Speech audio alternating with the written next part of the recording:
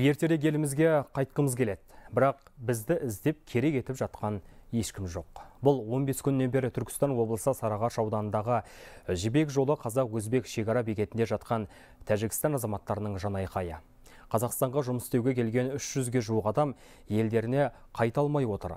Қазақстандағы тәжікстан елшілігінен де үміт жоқ. Себебі осы уақытқа дейін елшіліктен бірде бір адам хабарласып жағдайларын білмепті.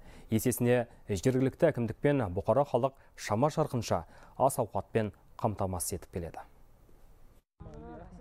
Қазақ өзбек шекарасындағы жібек жолы бекетінде жатқан тәжік азаматтарының көбі қазақстанға жұмыс іздеп келген жастар. Арасында жас балалар мен әйелдер тіпті қарт кісілер де бар. Шекара жабық болғандықтан 15 күннен бері далада түнеуге мәжбүр. Әлемді әбігерге салған пандемияның салдарынан шекаралар жабылғанда бұлар қазақстанда қалып қойған.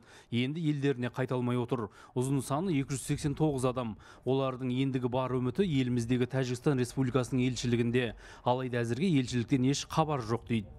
Бізде қазақстан территориясында жұмысқа келген едік. Қазақстанға жұмыс істеуге келгенбіз. Енді қайта алмай отырмыз. Ақшамыз да таусылды. Неше күннен бері осы жерде жатырмыз. Елшілікке хабарлассақ ешкім жауап бермейді. Қашан қайтатынымыз белгісіз. Егер тәжікстан бізді қабылдайтын болса өзбек жағы өткізуге дайын екен жеткізді. Бірақ тәжікстан тарапынан хабар болмай отыр. Жергілікті халыққа рахмет. Ас суымызды әкеліп беріп жатыр. Мы находимся в таможне. Мұнда жатқан әрбір азаматтың отбасы күтіп отырған бала шағасы бар. Бәрі де отанына оралғысы келеді. Әрбір азамат өз жеріне еліне қайтуға құқылы деп ойлаймын. Бұл жердегі азаматтардың 80 пайызын құжаттары дұрыс емес. Яғни тіркеу мерзімі өтіп кеткен. Тіпті депортацияланғандары да бар. Жергілікті жұрт жұмыс ұсынғанымен еңбекке жарамсыз болып отырмыз. Өзіңіз қараңызшы осындай жағдайда қалай күн кешуге болады? Өз азаматтарын қабылдамай жатқан үкіметімізге өкпеліміз. Бізді іздеп жатқан ешкім жоқ. Ал шекарада өзбекстан азаматтарымен ешқандай мәселе жоқ. Көрші елдің қазақстандағы елшілігінің қызметкері бақтияр камоловтың айтуынша қазір тәжікстан үкіметімен мемлекеттік деңгейде келіссөздер жүргізіліп жатыр.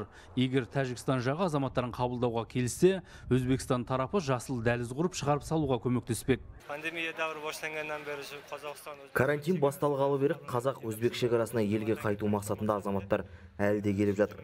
Тәжікстан республикасының азаматтары соңғы бір айда екі жүзден асып кетті. Үкімет тарапынан тиісті қаулы қабылданғаннан кейін тәжікстанның қазақстандағы елшілері тиісті шараларды қолға алу керек. Бұл жерде қазақстан не өзбекстандық шекарашылар емес мемлекеттік деңгейдегі келіссөздер аяқталғаннан кейін өзбекстан аумағы арқылы тәжікстан азаматтарын өткізуге еш кедергі жоқ. Сарыағаш ауданының әкімдігі тәжікстан азаматтарының қауіпсіздігін қамтамасыз етуді өз мойнына алған. Сондай ақ демеушілердің есебінен ас ауқаттарын әзірлеп беріп отыр. Екі аптадай уақыт болды.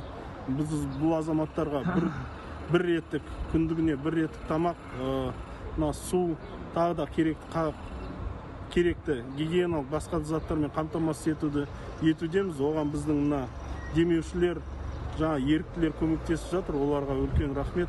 Бір екі күнде тәжікстанның азаматтарының да мәселесі шешіледі деген бір жақсы хабар естіп отырмыз. Күте күте төзімі таусылған жұмысшылардың өз еліне қайтар күні де алыс емес. Бірақ өз азаматтарын еліне қайтаруға асықпаған тәжік билігіне мигранттардың өкпесі қара қазандай. Жандос жұмабек ерболат әбіш самат нағашыбекұлы хабар жиырма төрт түркістан облысы.